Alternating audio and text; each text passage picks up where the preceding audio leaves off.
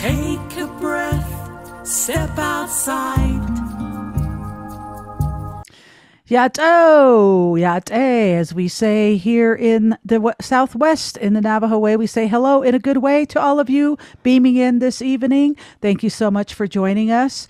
This evening, we have a wonderful guest. We'll get to that in just a moment. Indigenous Ways always wants to acknowledge the traditional owners of the country throughout Turtle Island and pay respects to their elders, past and present.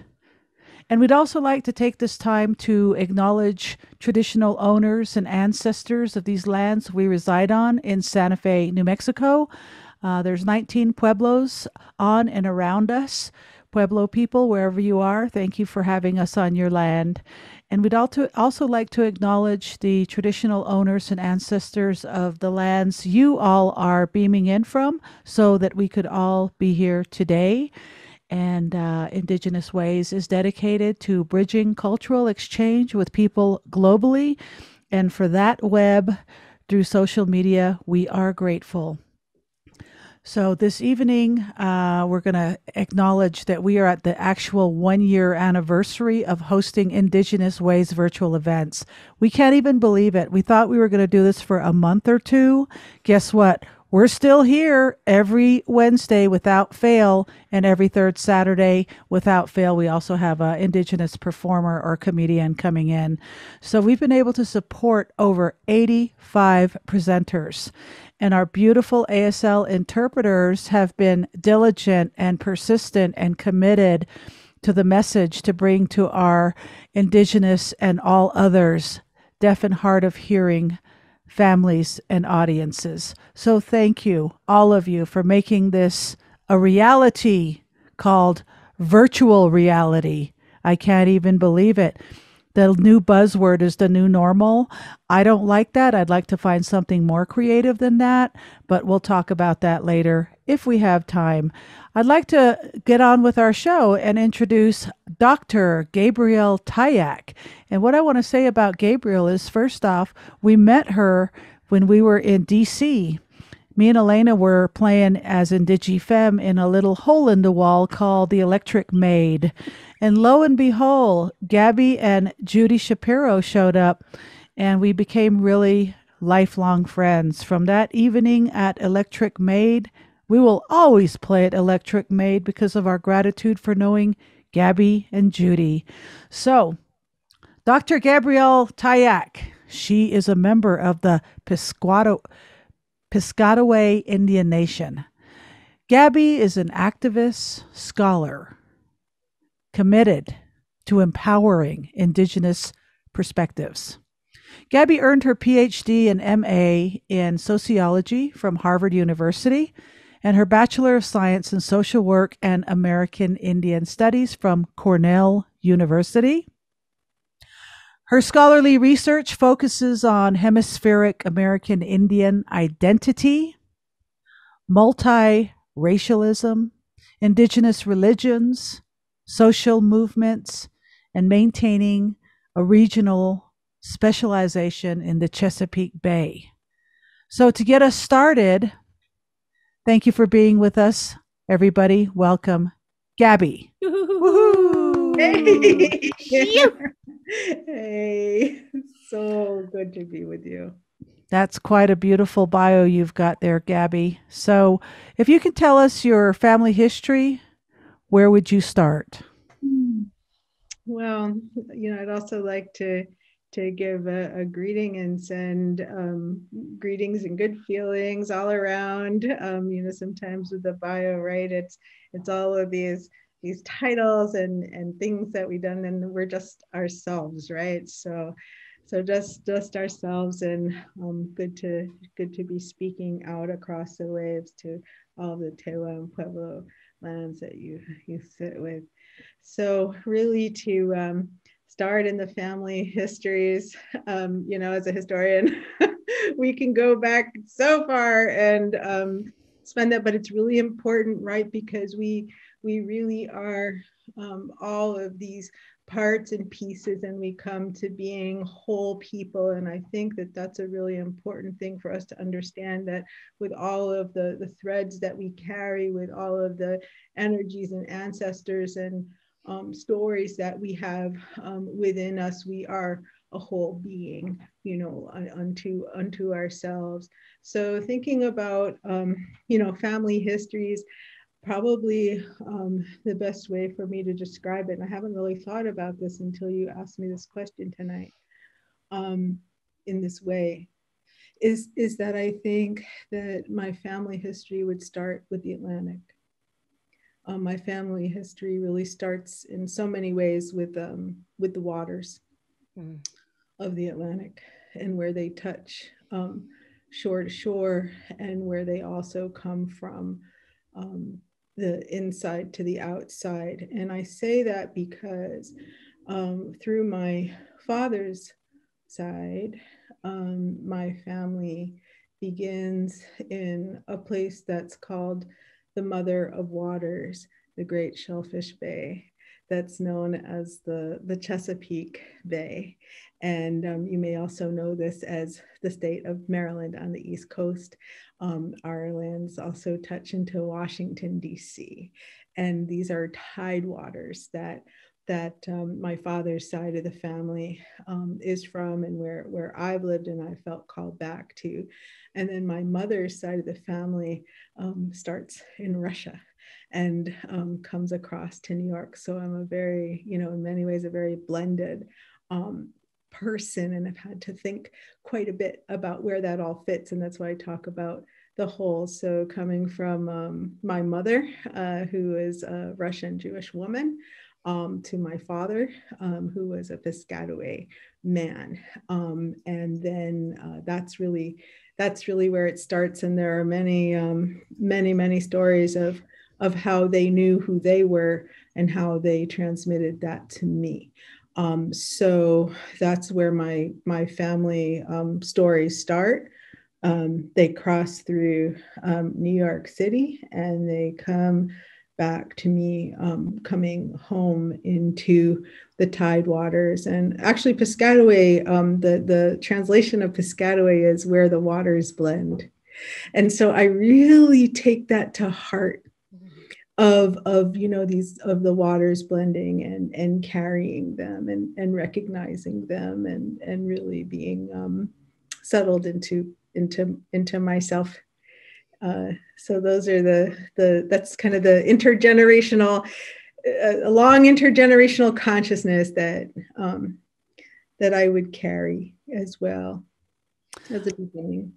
That's really interesting how there's all these different DNAs that come together ancestrally to make specifically you, your fingerprint, your footprint that ultimately you will leave on this planet.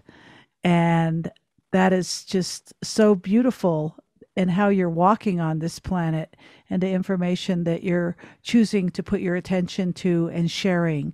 So, the next question that I wanted to ask you is uh, first of all, thank you for sharing that information with us to give us a basis of who you are and some of your cultural foundations.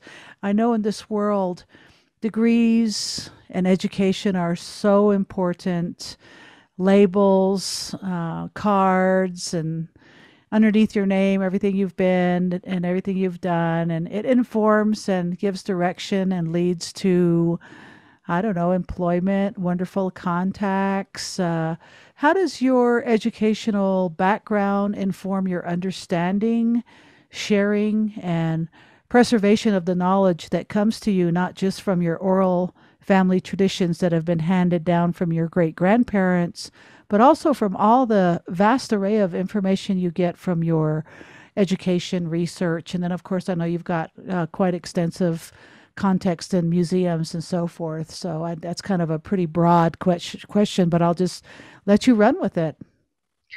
Yeah, you know, um, I think for so many of us, um, it's it's always this question of how do we how do we how do we balance those things out? Where where does it fit? I would say, um, you know, for me, um, it was it was really an understanding of first listening very, very carefully to family, um, to elders. I was, you know, the little kid who would sit and listen, you know, the little kid who sits and listens and loves being with older people, loves being with, with, with older people and, um, and, and being with, with grown-ups and elders and um, sitting for hours and hours and listening to stories. Um, and also having the understanding two things maybe two things and there's probably more but just two coming to mind right now. Um, one is um, coming from such a small uh, east coast tribe um, it was very clear that you may be the only person who will pay attention or no. Like you can't necessarily um, depend on the idea that somebody else will will carry a story, you know. Because in on my um, dad's side, we came down to my grandfather, um, who was a, a, a medicine person. He was a herb doctor. Um, and he was the last practitioner of that tradition. Um, and so you can never, ever, ever take it for granted that somebody else is going to do that.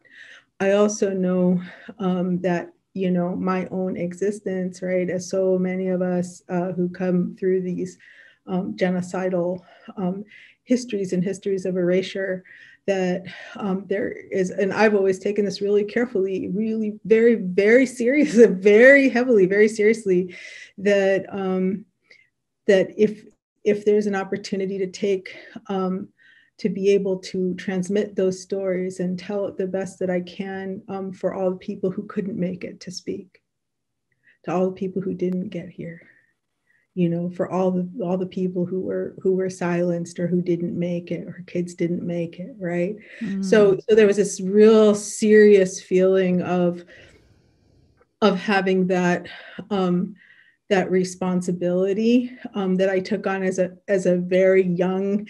I took it on as a very. I was was kind of serious. I took it on as a very young person, and so um, having the possibility, I felt that you know I'm not a physically very strong or coordinated person. I'm I'm not you know uh, I'm somebody who's like kind of studious, right? Kind of nerd, you know, nerdy and in a lot of ways. And so the question was, is that I knew that my father had been denied um, so much of um, because of, of who he was, because of the extreme crushing racism of the South, um, that that if I had the opportunity to study um, and do the best that I could um, not to be in competition, but in order to to get those stories told. And so I always took that path, and I was very direct about um, wanting to um, be able to go into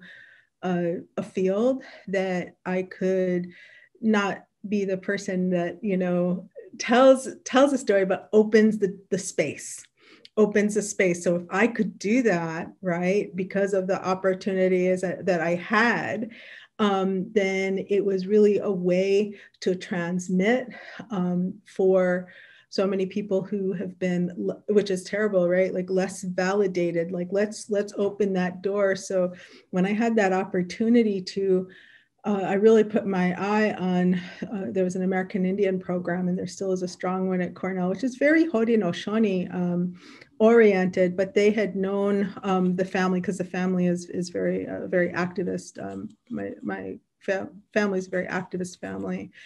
Um, so I was coming to New York and I said, you know, I really, I really want to be in a place where I can study and learn um, as much Native history as I can and, and bring it forward as much as I can and work with the oral history. And I want to know how to do that. I, know, I want to know how to do that really as well as possible. And also um, advocate for our human uh, and, and Native rights and um, get into those spaces, maybe where people could listen. And then again, just open that space through the page, through what I could say. I'm naturally actually a very shy, I'm a very shy person. And, um, you know, kind of, so I kind of have to force myself. And so I did. and um, that's really where those so that's where the the impetus for the degrees um, came from was to say let's see how i can go forward and and open that up and study and have the opportunity because also of you know elder scholars native elder scholars before us who who established native studies um, so that we don't only have to work with um, you know dead white men although you know they can be very interesting to study. I'm learning this or i'm actually kind of interested in them right now but what did they do? Like what exactly did they do? So so those are so those are the ways that i think that there's there's that piece but really that's been um that's been the track that i've been on. I'm 53 now.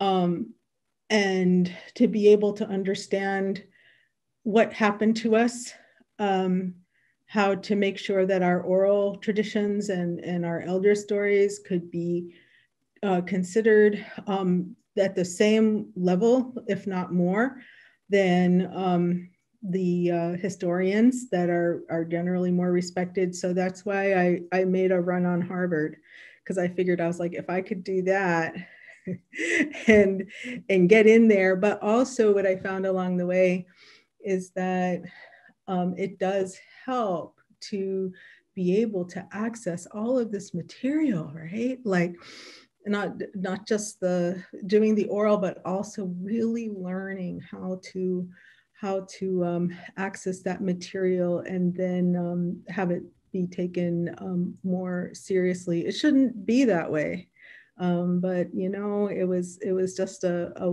it was just a road that I took, and uh, it's been a it's been a very interesting one of the mind and and to be able to understand um, knowledge carriers from from so many different directions and also um, not just from, from uh, English speaking colonized areas, but also um, further to the South and Central and South America, where there's also a great deal of indigenous scholarship going on. Wow. And that brings to mind that there's a delicate um, approach, I would imagine, to visiting so many different knowledge carriers and how to be the liaison uh, between that and even moving stuff from um, uh, site to site, uh, from uh, a site, uh, for example, into a museum, and what kind of repercussions come up with that. And some, I'm sure there's some communication breakdowns that happen with uh, misappropriation and and uh, knowledge and stuff like that that I imagine you have to walk very delicately in such a way with uh, the uh, collective culture versus the individual culture. And yeah. like a, I'll use an example: a Native American anthropologist and a non-Native American anthropologist. What are some of their guiding principles on how they approach um, discovering some of our ancient artifacts. Pretty intense. Very intense, very intense. And uh, the the work that um, I had done at first with when, in regards to the museum was actually protesting, um, protesting on the outside, um, working towards repatriation, return of remains. Um, from our burial grounds, about a thousand human remains were taken out by Smithsonian. They're still there. Um, so, so this viewpoint of how could I ever um, go to work for a museum ever, and uh, yeah. you know, it was one of those questions like, how did that happen? And it was um, it was National Museum of the American Indian, and I did ask the question um, when they wanted me to come in.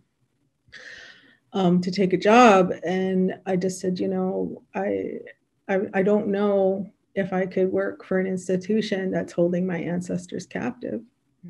Ooh. And uh, so the conversation at NMAI was that they had deaccessioned all of the human remains, and it was about um, living voice um, in connection to the to the people. So it, that's not so. At National Museum of the American Indian is, for example, part of Smithsonian, and each place has it, some of its own um, own policies. So I, I thought, you know, um, in order to amplify these stories and, and tell it from a particular way. But I'll tell you, one of the first, very first things that happened um, when I when I got the job, there was a um, there was a group of um, people from I'm trying to remember, but it, it was like around the country, um, Native people coming in to um, to to Smithsonian, and uh, our museum folks were hosting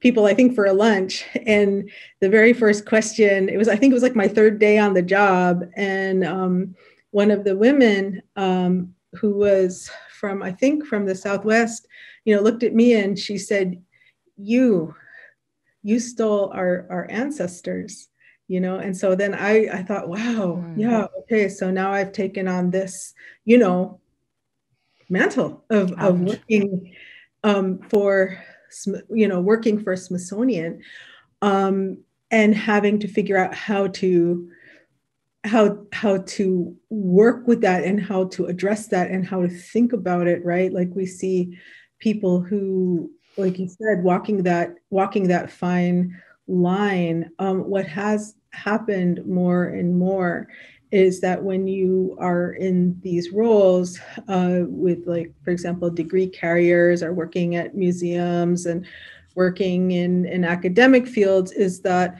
it puts us enough um, on the inside sometimes to be able to very pointedly uh, blatantly hold uh, people accountable we then have also worked quite a lot to to change uh, what these fields are. And so to be able to teach them on our own terms like i'm teaching right now a oral history uh, seminar um, to graduate students history students. And they absolutely must center indigenous voice. They have to. Mm. so it's part of their training um, that that being there makes that happen. It's not without its its issues. And i know that we we talk about this all the time but when you're speaking about for example having a native person uh, who's an archaeologist or an anthropologist or a sociologist it means that what what we're able to do now i think after a couple of generations maybe about two two three generations of of having native scholars and policies like NAGPRA and people in in places where we have to be able to say that it can only be done with consent. It can only be done in a way that respects cultural um, understandings and that it, it has to be, those ethics have to be driven by uh, Native people and Native um, Native knowledge holders. And, and of course, you know, working working across so many different places too, I, I never go in and assume that I know. Like I, I, you know i just never go in and assume that i know um, what other native people what other tribal people are going to think. So always go in with a lot of humility um, and understanding and just listen mm-hmm. um, you know what is it that that we need to do to support you i can't come in um, you know as a native person from a very particular experience and understand something so i always try to you know give when when i've worked with people all across the country and hemispherically um, always go in with with a with a with as much humbleness and listening as i can and give time to um, you know never push it right because um, my understand it's basically to just have that sense that i that, that i never understand I could never just speak for somebody else. I have to sit and listen. Um, and then again, open spaces for people. So we have the advantage in in in uh, DC that so many people do come um, to to the to DC, so we get a chance to meet people from so many places. I think I might have. I think I might have first met you when you came, you I think you came to our burial grounds with with Beverly and Kathy Sanchez and um, we all did. Tewa Women United uh, hosted, yeah, sponsored us, and brought us in with them. Yeah so you know having people um, and then you have that established relationship to say look i'll you know we're here to host you and walk with you so that sometimes sometimes you know i can go someplace and somebody knows but a lot of times people have no idea right? So i just go out and um, and just try to take people on their own terms um, and and listen to what to what they're to what their needs and, and concerns are you know because that's not my it's not my story. Um, it's maybe a conduit to be a story. So having that approach and and that and that respect and and also that feeling of you know it's it's it's always love. Yes. Yes beautiful. That is so awesome. Well thank you very much for walking as one Nobody in front, nobody behind, nobody above, nobody below. All of our voices, all of our spirits, all of our blood running red is one with the breath. Ultimately, Ya at e, Ya, universe all, at e, is. Mm. That's us. So I was watching uh, Dalai Lama uh, speak the other day, and Buffy Sainte-Marie asked him how we address uh, all the missing and murdered Indigenous women that have largely, a lot of the cases have largely been neglected and not acknowledged and not completed and closed case. And he said, What's happening now is we're on an old story that's a thousand years old, and that's the patriarchy. He mm-hmm. said, You notice women are coming into roles that are traditionally what the last thousand years have known as a man's role. He said, but we we have to have these women continue to come in, not only to save humanity, but to save the planet, because the women have more compassion. He said that's why we need more leadership in this world, because the compassion needs to be brought in with the science, with the the prayers, the religions, the spiritual practices, and the woman have that more so than the men. That was really a beautiful statement that he made, and I will always remember that. Mm. So, um, can you talk about? I'm really curious coming from the Southwest, all around me is brownness. I mean, brown dirt, red dirt, there's yellow dirt, black dirt, right, Beverly Billy? There's all kinds of clay all around us here on the Pueblo lands. Um, and there's also a lot of brown skinned people around too in the Southwest. It's just that's the majority here in Santa Fe, which is really beautiful. Why I stay around a lot. What I'm curious is to hear about because I haven't heard it from one of you, the voice of the people, is the impact of colonization in your parts of the country as compared to the rest of the U.S. Because I know the Navajos still speak the language, they still have the ceremonies, and some people have amalgamated Christian principles and still practice Navajo ways and have taken certain parts of ceremonies out, have kept others in. The woman's rite of passage seems to stay with the Kinaaldá and those types of things. But the point is, is uh, talk to us about that because I know you guys were like the, I think you were the first hit, right? So yeah, uh, we were hit, I think, in the late 1700s. Yeah. Um, and also want to thank you for sharing that um, the beautiful um, meditation on on uh, murdered and missing Indigenous women, and you know, and I think that kind of frames us, right? And and this Brown Earth, I have to say, the times that I've come out uh, your way, I I was uh, with there's a, an artist named Nora Naranjo Morse who I had a chance to work with quite a bit, and I think it was like I after I spent time with her, I was like wow, you really, when you talk about the earth, like you see it, like you're on it. It's like, I was like, I'm never going to walk on the ground ever the same way, even if it's under all this concrete and grass and everything. So, so, you know, um, yes, uh, our people here were hit very early. Um, actually about six, 1565. Um, by 1607, the English came and they did not leave. Hmm. So, you know, there was not like a like a touch in and go. This was like they did not leave.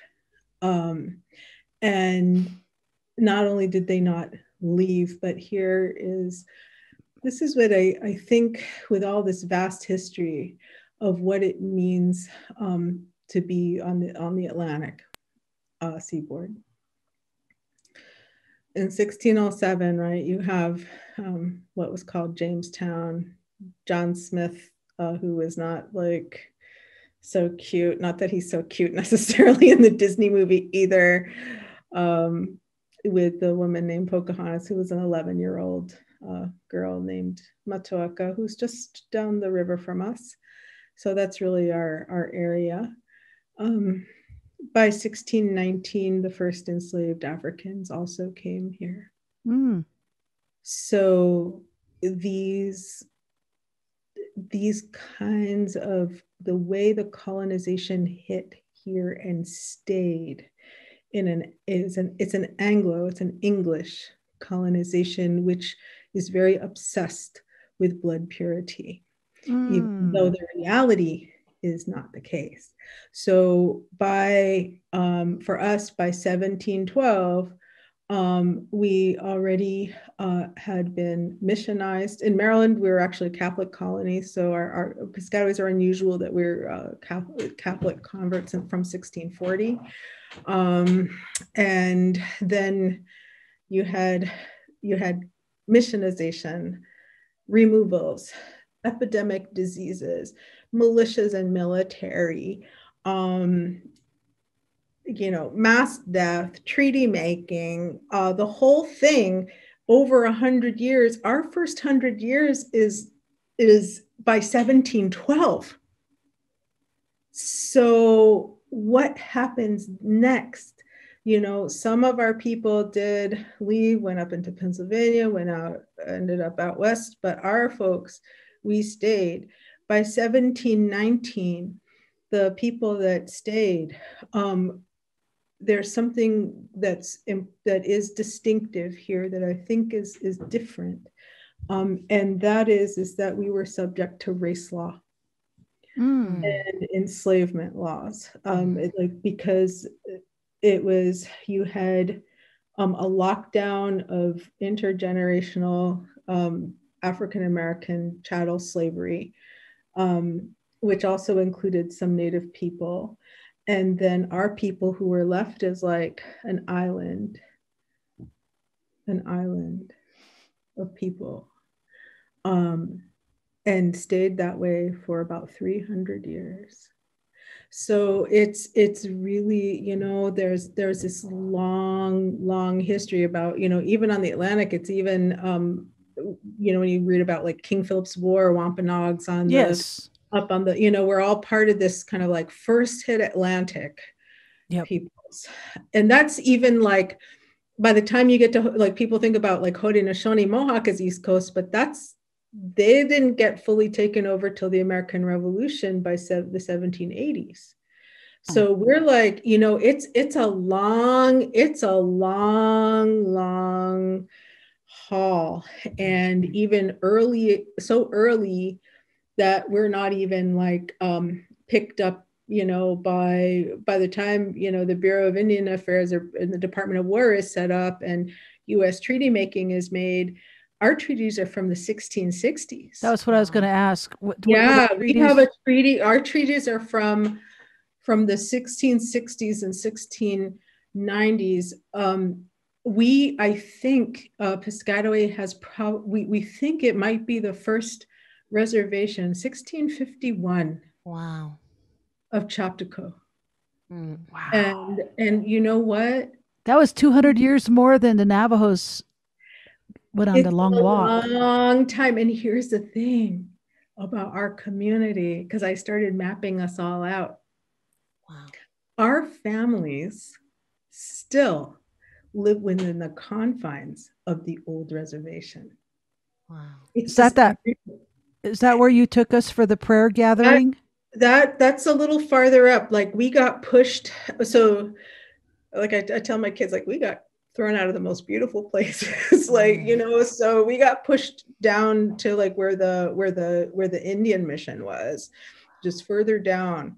So our people, our families, still live within the boundary lines of the original land patents Wow. because everybody else came in. Wow. Everybody else came in. Mm. And so, like our people, I was saying, you know, by the 1680s, I would have to say either through love or through force. Mm. Um, there were already um, marriages and interrelationships with with black people and with white people and Hmm. then that got locked down so like our our history is very um you know it's kind of distinctive but in a way like everything that was tested out that ended up happening further out west you can see it start um with with our people with wampanoag people with powhatan people um, Narragansett, Lenape people, you know, first hit people. So those those like same processes, you know, within a hundred years, because I was thinking about it, by the time you get to, um, you know, the formation of the United States, um, you have the War of 18. Sorry, we got the War No, of no, 18 no. no, but No, like I'm just good. saying, like, like you have um by the time the US gets set up, wins the War of 1812, just think about this. Um within 20 years, you have Indian removal by by the 1830s. By 1849, they're out in California, and then they come into the middle they come into the middle by like all within the space of a hundred years once the US is set up. So when we're talking about like what happens like out on the East Coast, the hold off for about a hundred years, and then like another couple hundred years, um, it you know things things go in, in a very particular way, um, and so so the the longevity, and that's also I want to say you know for for for people that are are further out to the west um, where you know the us or, or you know states were developed like i was like wow arizona like wasn't even like a state until Still Mexico then. yeah right i mean so so the the thing is is that um yes uh a lot of our languages um are pretty decimated um are you know you can look at yeah there's a tremendous amount of loss but we are still on the lands that love us. Yay. you know we Glad still you have- survived. right? Like still have you know the even the the sometimes that's what i say to people they're like oh there's so much else. I was like yeah but think about it. I'm like this is i'm like this is 400 years. It's a long time. And um you know we're still here and working on on recoveries. And what it meant was you know it's not just the big things but you know you're thinking about the women right? Like somebody gets up every day and and makes a decision. You know somebody got up every day for 400 years and um, took care of their family and protected their family and then did what they had to do you know and and held on and held on and held on um, until this very moment you know Tash where we can have this conversation and i can tell you my name and i can tell you where i am and we can come back, you know, together. I'm like, somebody got up every day for 400 years so this could happen. Thank So you. that- You know, it's that- that- Absolutely. yeah. Well, I was talking to my mom every day, but yesterday in particular, and my mom says, Wow, you turned out to be pretty all right, you and your sister. I'm proud of you too. I said, Mom, it's because of you. You got up every day and made sure that we got three meals a day, that our lunch boxes were packed. We mm-hmm. went to the school, and you threatened me to sign me up for showers if I didn't take my bath.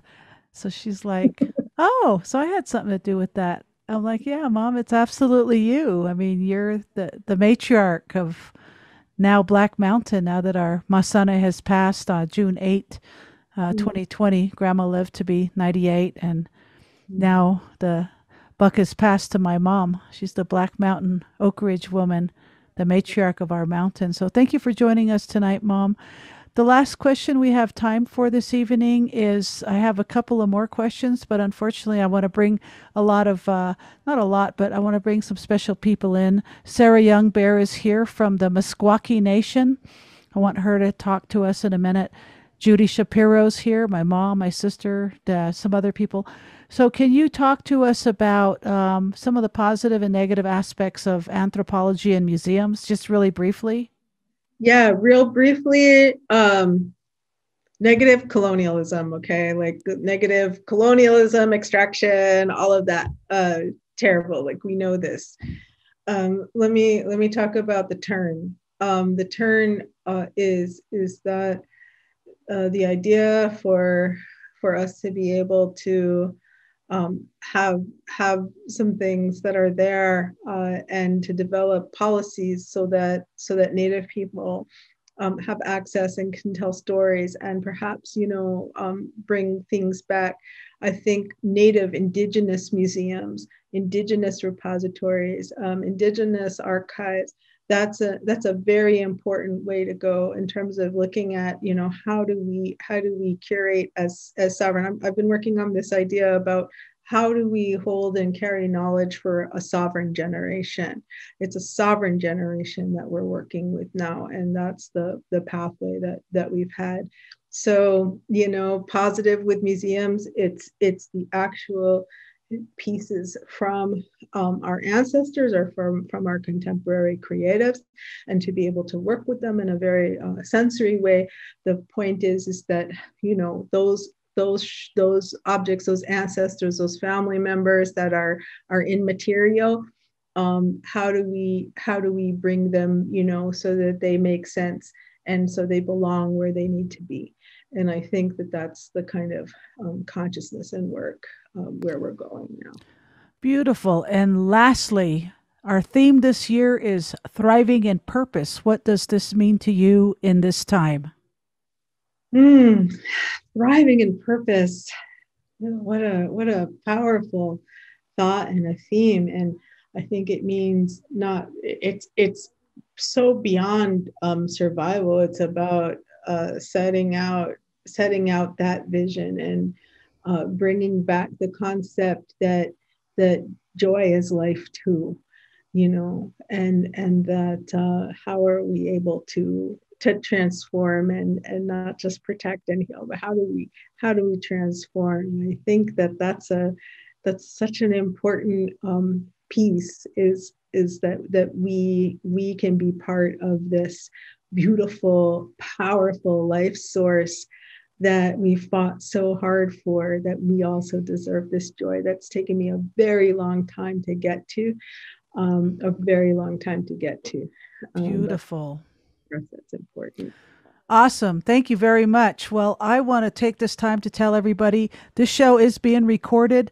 Those of you that are going to be watching it in the future, thank you for joining us. Those of you here with us tonight, thank you for joining us. Those of you on social media streaming in, thank you for joining us. I'd like to invite all of you to come in if you feel like it. If you want to just be seen, if you want to say hello to uh, Gabi, please uh, unmute your microphone and say hi. Uh, we've got uh, Australia, Jody Aranda. Hey, Jody, thank you for coming in, mate. Uh, hello, everyone. Very interesting. This is our Aussie mate. And then we have uh, Baltimore, Maryland, Jennifer Faloyan. Very interesting. Amen. Uh, so it is. Uh, Singapore, Kathy Luke Chow. Thank you for this education. All right, that goes to you, Gabi. And Angelina Owillo is saying, I love you, Gabi. She's our speaker next week. She's our beautiful sister that's going to be uh, presenting next week. So everybody join next Wednesday for Angelina Owillo, deaf sister. Let's start with Beverly Billy. Hey, Beverly. Hi, how's it going? Can you hear me okay? Yeah, really good. This is for okay. Gabi, I think. Oh, yeah. Hey. Hi, Gabi. Wow. My heart is so full. Thank you. Thank you for sharing. Thank you for giving. Thank you for all your hard work. I just wanted to tell you uh, I seen, I see, I see, I see you. And I also wanted to tell you I see your daughter. What a beautiful young lady and an activist herself. Um, mine is doing the same thing. So, you know, it's good hard work and we got to be there for them, right? And Yeah. we planted that seed. So much power to you. And um, just happy birthday because you mentioned how old you were. oh, it's so good to see you. You know, having your footsteps with you and being able to connect through social media and and it's just thank you so much. Oh, what a treat. You're welcome. Thank you. All right. Thank you, Bev. We Sure. love you, Bev, your whole family. Let's go on to Judy Shapiro. Hey, Judy. Hey there. Hey. Hey. So hi, Gabi. I haven't seen you in a couple weeks. We They live in the same town. About a half mile apart from each other right now. Mhm. A very hard bridgeable half mile this year. I know. Washington, D.C., everybody. Yeah, she just lives a few blocks from me. So she just like this has been part of like keeping sanity. Like uh Judy's like, I'm walking by your house. I'm like, okay, I'll come to the fence. yeah.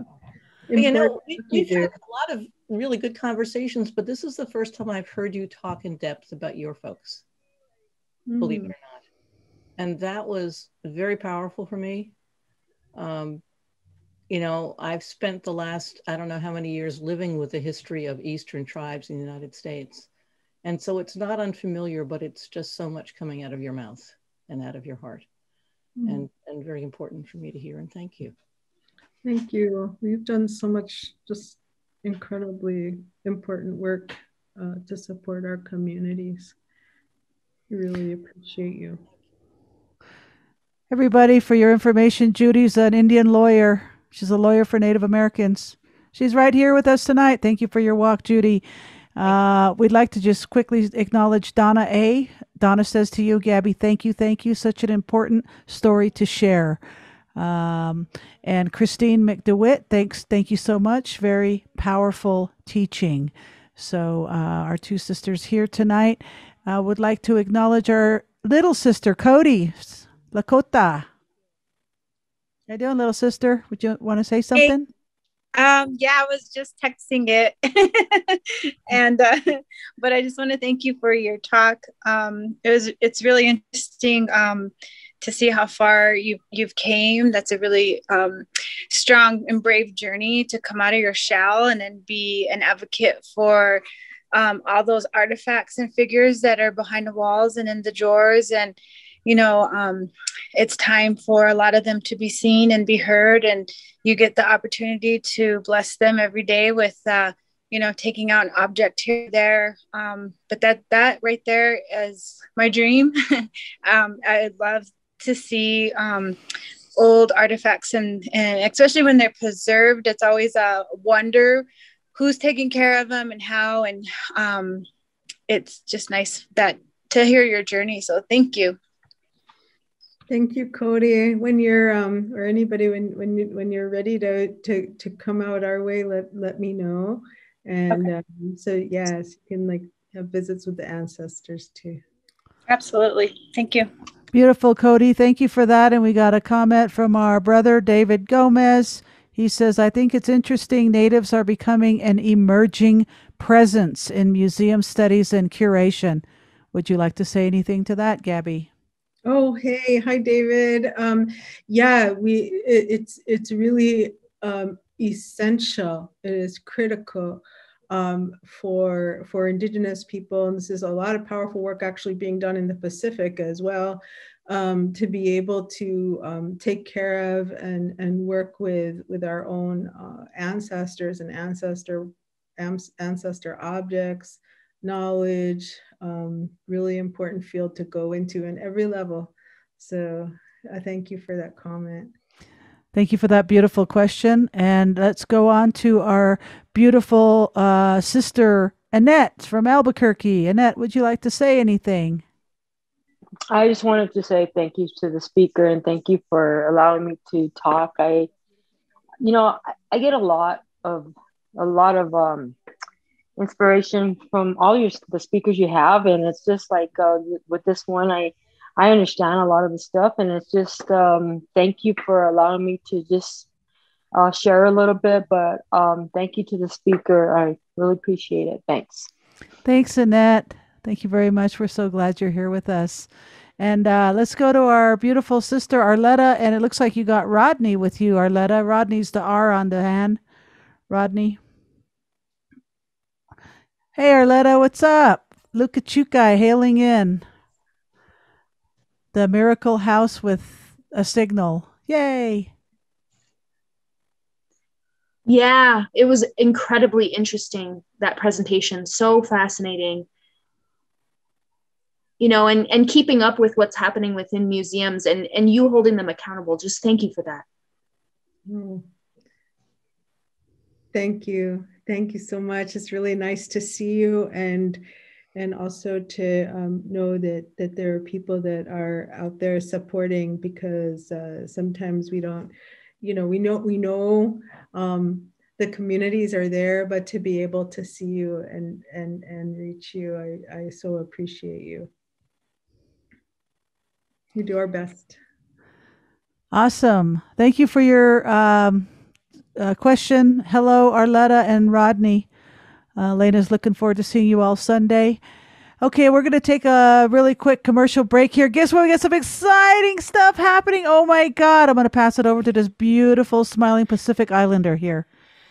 Thank you so much, uh, Gabi, and blessing us in the circle uh, your incredible walk of uh, what you have been doing uh, has just been beyond uh, extraordinary. Uh, thank you for sharing uh, what you have is a great gift for all of us. anyway, it's my job to do the wonderful commercial break. And this Saturday, which is the third Saturday of the month, we're going to be blessed with blues uh, singer songwriter Pete Sands, who's Dene. He's going to be coming and sharing in the concert series uh, at 3 p.m. Mountain Standard Time.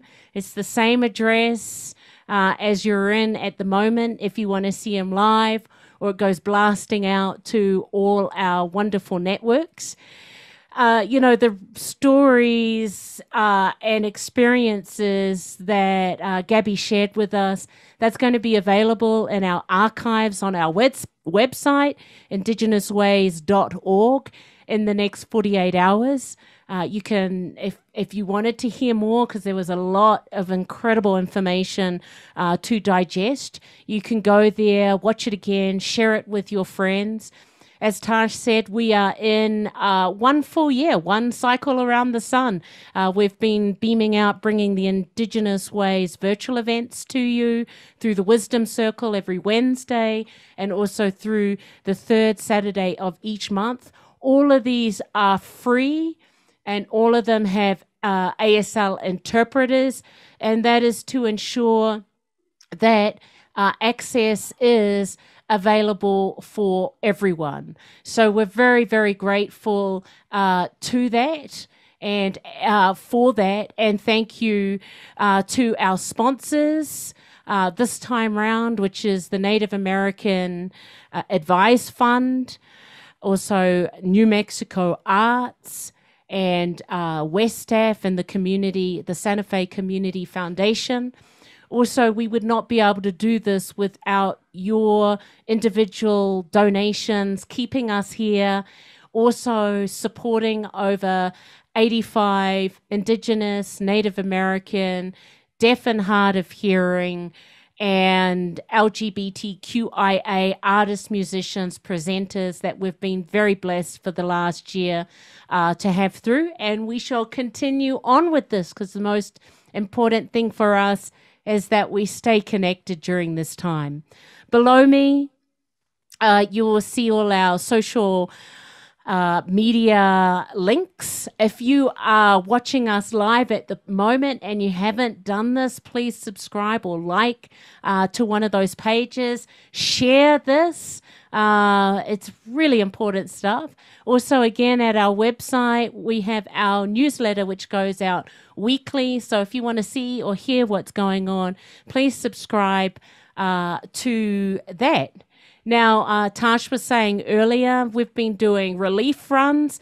It's only been possible because of this platform. We've been very been very blessed because of you, not only to be doing our tenth run, which is to the deaf and hard of hearing this Sunday, uh, but also going up to Black Mountain, where Tasha's family is from. Uh, this will be our tenth uh, run. Um, and I think our third run to the deaf and hard of hearing community. This is only ever possible because of you. So, since May last year, we've been able to do this. Thanks to you, we've um, been able to, and this platform, we've been able to uh, have over $150,000 come through to help uh, all these beautiful people in these communities. Thank you so much for making that possible. We'll be seeing Dennis Long on Sunday, who borrows a truck from a friend and delivers all these boxes of food for the deaf and hard of hearing uh, around Shiprock and Arizona, New Mexico, uh, for the community members who have no transport. So, thank you so much in supporting this and making this happen. If you want to continue with that, all the virtual events where we're in now, you can make a donation at our website, indigenousways.org. Donate, or we've got PayPal, Venmo, or if you're not into any of those electronic circles, which we totally get, uh, you can uh, post a check Indigenous Ways to the post box there. Now, this is really, really exciting starting this Saturday, or not Saturday, Friday, we've been working towards uh, the Indigenous Healing Festival, which is on, will be online. We're collaborating with three other organizations: Tewa Women United, the Santa Fe Indian School, and also. Uh, the IAIA, the Institute of American Indian Arts. Uh, we've been coordinating this and we have got a phenomenal festival from indigenous perspectives. Exactly what's been happening here. Instead of for an hour, you get six hours every day of these hip hop extraordinary presenters that will be that will be uh, there for the weekend. So please save the date, May 8th, May 9th, uh, in ninth is Mother's Day, so you might be able to make both of the events or just one of the events, whichever registration's happening, uh, opening up this Friday. Uh, our guest, our featured artists that or presenters will be Buffy Sainte-Marie. Uh, and also Keith Secola, who we've also had through the virtual events. The theme is survivance. And so, one of the things that I wanted to share with you uh, this evening is uh, if you want to be a part of this, be sure to register. We've got limited tickets. Uh, if you want to hear straight off the bat, go to our website, which is down the bottom here, indigenousways.org, uh, to get the newsletter because you'll get the blast. Uh, we're going to be holding that uh, for a couple of days before blasting it out to all our social media networks. Um, so uh, that's what's going on. We're very excited. And as I said, if you want to share about this, um, we're doing, you might want to do a um, 15 second video presentation on what survivance has meant for you. I've just thrown that in the chat box for those people are in Zoom. For people on um, all our social media networks, I'm going to toss that in as well with all the addresses um, there. But uh, making a video, so when you're doing the video, uh, your little selfie, just be sure the video's long ways, oblong, horizontal, and then take a selfie video of your survivance, which is the theme. And survivance, if you haven't looked it up, it's about resilience, in which Gabi was talking about, and her history, and also survival. I mean, gosh, we survived COVID. We're still here, which is extraordinary in itself. So, whether you talk and share about your last year, or you want to share about your historical survivance, which is really extraordinary. So, uh, 15 second videos, and in the breaks, in our festival. We're going to share those videos, uh, which will be which will be also going globally if you want to do that. Um, but anyway, that's it from me. Thank you. Anybody have any last minute burning desires you want to say to Gabi before we sign off for the night? Thank you from Donna. We just absolutely love you. We'll see you, uh, everybody, Saturday. Uh, thank you all, Zoom, social media, live people that have joined us today on Facebook and Instagram.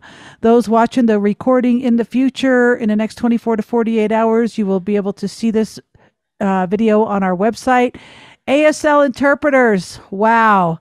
You're raising the bar in a big way for our Native American deaf and hard of hearing audiences. Thank you. We love you. Thank you, Zoe. Thank, Thank you, you, Zoe, Kaylee, for Kaylee, for tonight. tonight. And we'll see you Saturday the 17th. We've got Pete Sands, Navajo folk singer, uh, filmmaker. He has his own film company. And lastly, let's give a big shout out. Thank you to Gabi Tayac and put a DR before her name. She earned it. Let's say, Dr. Gabi, we love you. Touch the earth, touch the earth.